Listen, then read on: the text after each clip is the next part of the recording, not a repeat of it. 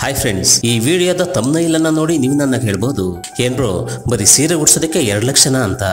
ಆದ್ರೆ ಈ ಮಹಿಳೆ ರಿಸೆಪ್ಷನ್ಗಳಲ್ಲಿ ಸೀರೆಗಳನ್ನ ಉಡ್ಸೋದಕ್ಕೆ ತೆಗೆದುಕೊಳ್ಳುವಂತ ಫೀಸ್ ಖಂಡಿತವಾಗ್ಲೂ ಕೇವಲ ಎರಡು ಲಕ್ಷ.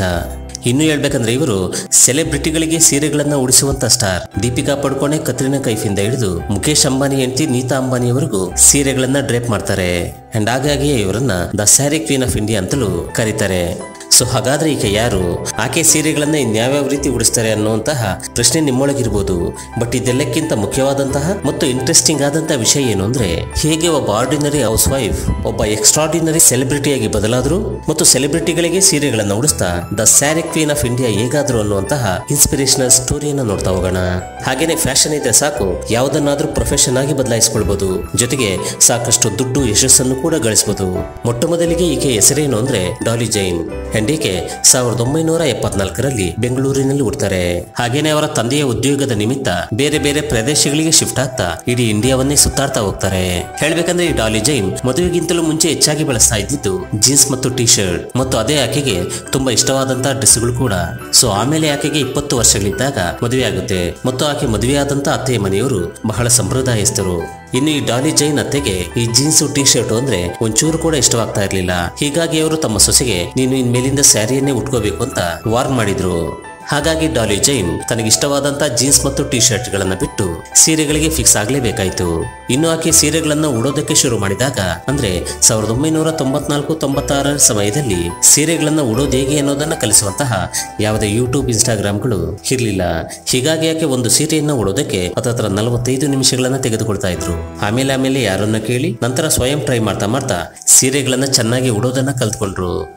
ಆನಂತರ ಅವರು ತಮ್ಮ ಸುತ್ತಮುತ್ತಲಿನ ಫಂಕ್ಷನ್ಗಳನ್ನು ಅಟೆಂಡ್ ಮಾಡ್ತಾ, ಆ ಫಂಕ್ಷನ್ಗಳಲ್ಲಿ ಸೀರೆಗಳನ್ನ ಡ್ರೇಪ್ ಮಾಡ್ತಾ ಇದ್ರು. ಹಾಗೂ ಒಂದು ಸೀರೆಯನ್ನು ಉಡಿಸೋದಕ್ಕೆ ಇನ್ನೂರ ಐವತ್ತರಿಂದ ಮುನ್ನೂರು ರೂಪಾಯಿಗಳನ್ನ ಚಾರ್ಜ್ ಮಾಡ್ತಾ ಇದ್ರು. ಆದ್ರೆ ಇವರ ಲೈಫಿನ ಟರ್ನಿಂಗ್ ಪಾಯಿಂಟ್ ಯಾವುದು ಅಂದ್ರೆ ಡಾಲಿ ಜೈನ್ ಅವರ ಅಂಕಲ್ನ ಫ್ಯಾಮಿಲಿ ಮುಂಬೈನಲ್ಲಿ ಒಂದು ಲಕ್ಸುರಿಯಸ್ ಆದಂತಹ ಅಪಾರ್ಟ್ಮೆಂಟ್ನಲ್ಲಿ ವಾಸ ಮಾಡ್ತಾ ಇದ್ರು. ಅಂಡ್ ಸಿನಿಮಾ ಆಕ್ಟ್ರೆಸ್ ಆದಂತಹ ಶ್ರೀದೇವಿ ಕೂಡ ಇದ್ರು. ಸೊ ಇವರ ಅಂಕಲ್ನ ಮನೆ ಫಂಕ್ಷನ್ಗೆ ಒಂದಿನ ಶ್ರೀದೇವಿಯವರು ಬಂದಿದ್ದಾಗ ಡಾಲಿ ಜೈನ್ ಕೂಡ ಅಲ್ಲಿರ್ತಾರೆ. ಆದ್ರೆ ಆ ಫಂಕ್ಷನ್ನಲ್ಲಿ ಯಾವುದೋ ಒಂದು ಸಂದರ್ಭದಲ್ಲಿ ಶ್ರೀದೇವಿಯವರ ಸೀರೆಯ ಮೇಲೆ ಏನು ಬೀಳುತ್ತೆ. ಹೀಗಾಗಿ ಅವರು ಸ್ಯಾರಿಯನ್ನ ಮತ್ತೆ ಸೆಟ್ ಮಾಡೋದಕ್ಕಂತ ಹೋಗ್ತಾರೆ.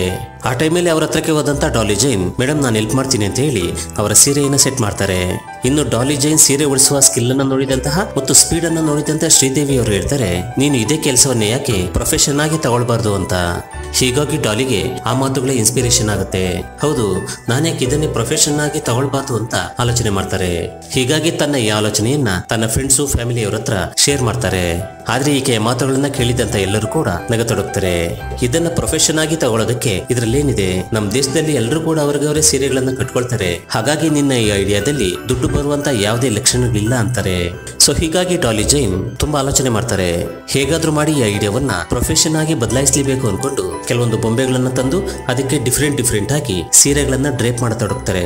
ಅಂಡ್ ಪ್ರತಿದಿನವೂ ಕೂಡ ಸೀರೆಗಳನ್ನ ಎಷ್ಟು ವಿಧವಾಗಿ ತೊಡಿಸಬಹುದು ಅನ್ನೋದನ್ನೇ ಪ್ರಾಕ್ಟೀಸ್ ಮಾಡ್ತಾ ಹೋಗ್ತಾರೆ.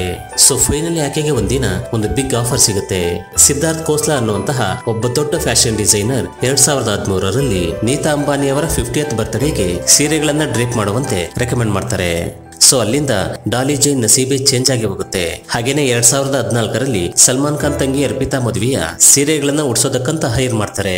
ಸೊ ಅಲ್ಲಿಂದ ಡಾಲಿ ಜೈನ್ ತುಂಬಾ ಫೇಮಸ್ ಆಗ್ತಾ ಹೋಗ್ತಾರೆ.